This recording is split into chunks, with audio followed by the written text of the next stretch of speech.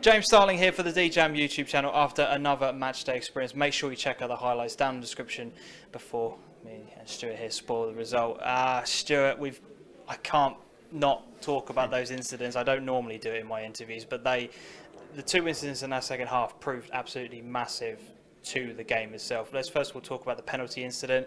From what I could see, it was outside the area. What what did you kind of make of that um, one first of all? I thought it was a uh, being diplomatic as possible. I, th I thought it, it, it, it, was a challenge that our guy probably shouldn't have had to make, and if it if it had probably stood up, uh, he probably would have been favourite for the ball, but he committed himself. Um, however, it still doesn't make the you know the decision that was clearly outside the box. Yeah.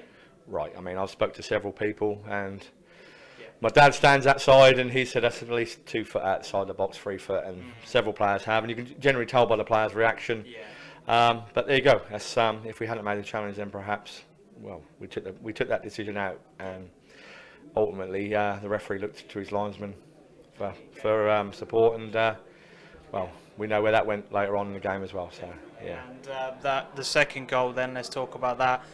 Again, I mean, I haven't got the incident, I don't think, but it was as he was charging down the ball, arms are up, hand yeah, I mean, decision. What what what has the linesman actually said about it? Because I've heard a couple of people saying that he even admitted that he was a handball, but yet the play goes on. Yeah, I mean the, the linesman the linesman said that he had half a second in his opinion mm. to adjust himself, right. um, which, uh, well, um, the thing is that if it hits him in the face then he's got no momentum. The ball goes out of play or, or ricochets somewhere else. Mm. He puts his hands up. It obviously deadens the ball there and then yeah. and falls kindly to him. And fair play to him, he's took advantage. But you know, at the end of the when they when the opposition are as surprised as as yeah. anybody, and then the guy at the end of the game comes up and apologises to me to say sorry for that. Yeah.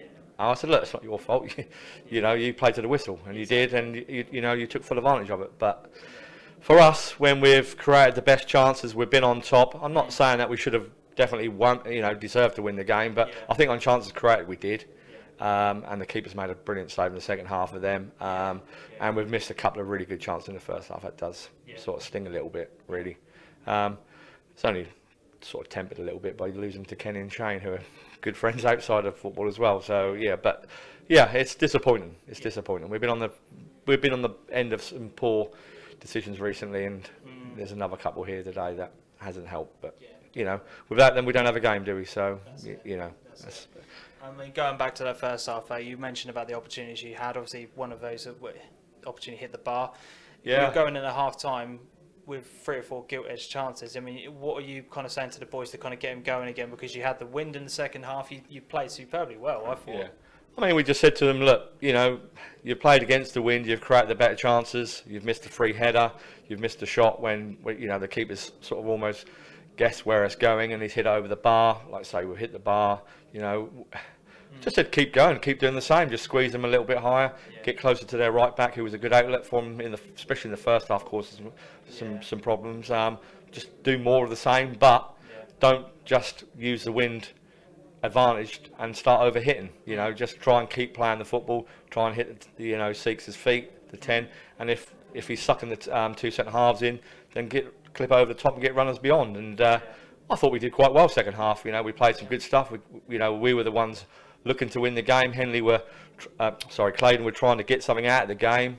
Um, and uh, well, they did. They got three points in the end. But you know, I think we we, we all everyone was there, and you know, hopefully the footage will show that we're yeah. probably a little bit hard done by. So. I mean, I've spoken to Kenny obviously before you got you came yeah. in, and he was not particularly happy with the way his his players played today. But he was sort. Of, I said I asked him about the win factor. He said that it's not an excuse. You you guys didn't really use it as an excuse. I thought you were. You, you were superb. Did, do you think that the wind had any sort of factor in today's game at all? Or are you, I mean, are you more happy with how you got played, really? I think it spoiled it a little bit in the first half until the players from both sides got used to the conditions. Yeah. I mean, you know, the first 20 minutes would have been probably wouldn't even been the last game on Match of the Day. It was that bad. The ball was, I don't know where the ball was, but it went on the pitch. Yeah. Um, spent most of the time in the netball courts, I think. Um, and then the players got used to it um, and, you know, played some decent stuff. Mm. Um, yeah, I think Kenny's right. You know, you, you, can use you can use any excuse you want. Can't we? You know, we just said, look, get the ball down and play. We tried to play. Claydon tried to play. Sometimes you you know it doesn't always go Yeah. the way you want it to. But I thought, I, you know, level of chances, number of chances created, Yeah. missed. We probably, you know, we, we, will you know, we won't be able to understand how we haven't got three points. But Yeah. you know, fair play to Claydon. They've had two chances, Yeah. you know, and they've took, t- taken both of them, and they got the three points. So they go away happy, and we go away sort of a little bit, you know, miserable, and sort of just wondering, you know, should we have done better, or could could the officials help out a little bit more, or, or not? But it's, it's it's not fair to always blame them. But Yeah. you know. And you know, let's talk about this season overall. You're you're a couple of games, well, quite a few games behind everybody else Yeah. in the league. How have you how have you found your season overall? As in your kind of ambitions towards the start of the season, have they kind of matched it, or how how, how have you found overall? Um, to a point, uh, we've sort of done very well. Um, pre-season was a general sort of bit of a mess. I was doing it on my own. Um, I was struggling to find an assistant. Dean Cooper came over and he's been brilliant for the for me and the club and the players. You know, that, that gets involved in all the training sessions, puts on good sessions, and he's been a real big help. Yeah. Up to that point, it was just myself and Robbie who looks after the kit and all the other bits and pieces, and it was becoming quite difficult um, and, and not really particularly enjoyable. Um, Dean come in right before the start of the season.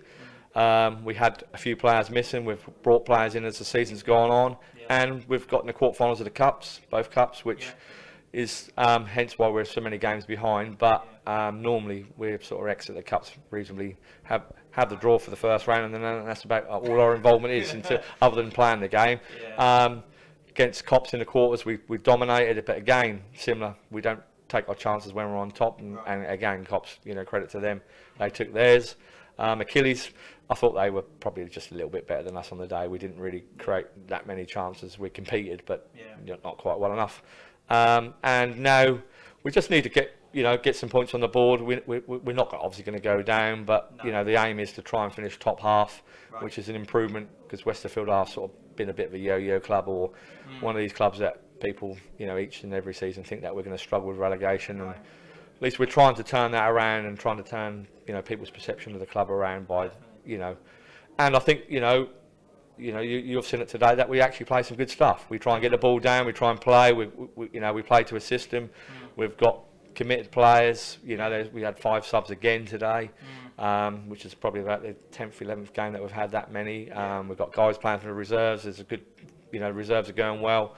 So it's going in the right direction yeah which is you know it's been a long time coming so that's good good You, you mentioned obviously the fact you wanted to try and get into the top half for the Yeah. for the rest of this season.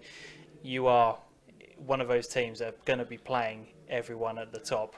Yes, moving yeah. forward, you're going to have a massive say Yeah. in this Oh, title yeah. challenge, aren't you? We've got Achilles twice, Cranes twice, Bournevale, um, so Hawley. So we've got yeah, we've we've got a tough run in, but you know they're the games you want to play at the end of the day. You know, Yeah. you know we've we, we've not played them for whatever reason, um, but there we go. You know, like you say, we've got a real say in who wins what now. So um, and we'll be giving it, you know, we'll be giving it our best bet because we want to finish as high as we can.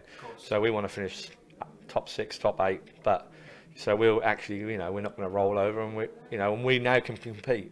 Before that, last season, we'd certainly get rolled over by Achilles, Right. Cranes, Henley, you know, because they were better than us, stronger than us, and more born determined. But now we've got that little bit between the teeth now, where we've got a set, settled system of play, style of Yeah. play. The boys believe in what we're trying to do, and um, hopefully we can give them them a game.